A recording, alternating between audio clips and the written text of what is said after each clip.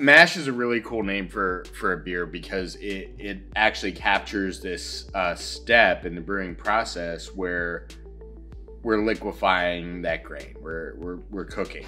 Uh, we're capturing all of the color, flavor. We're converting the starch into sugars.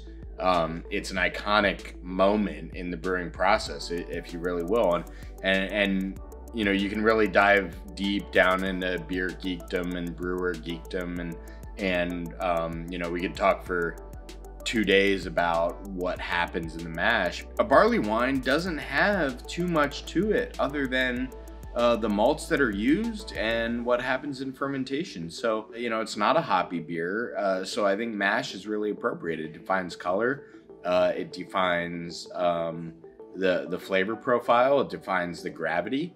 Uh, so, uh, so this is the Bruery's traditional barley wine mash.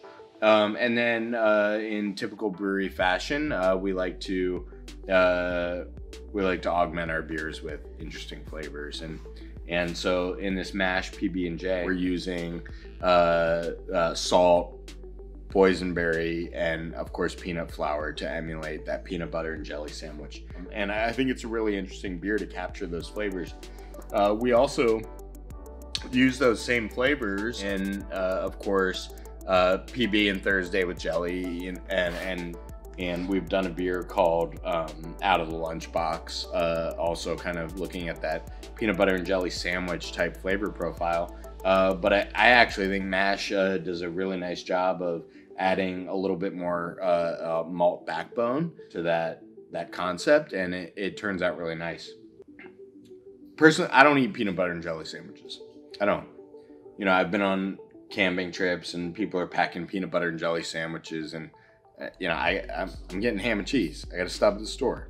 Like I'll, I'll I'll spend two bucks more, but in a beer, ham and cheese doesn't sort out so well. So um, so I really like this. I, I think it came together well and and proud of the proud of the team brewers behind it that continue to make you know top notch beers flavor forward.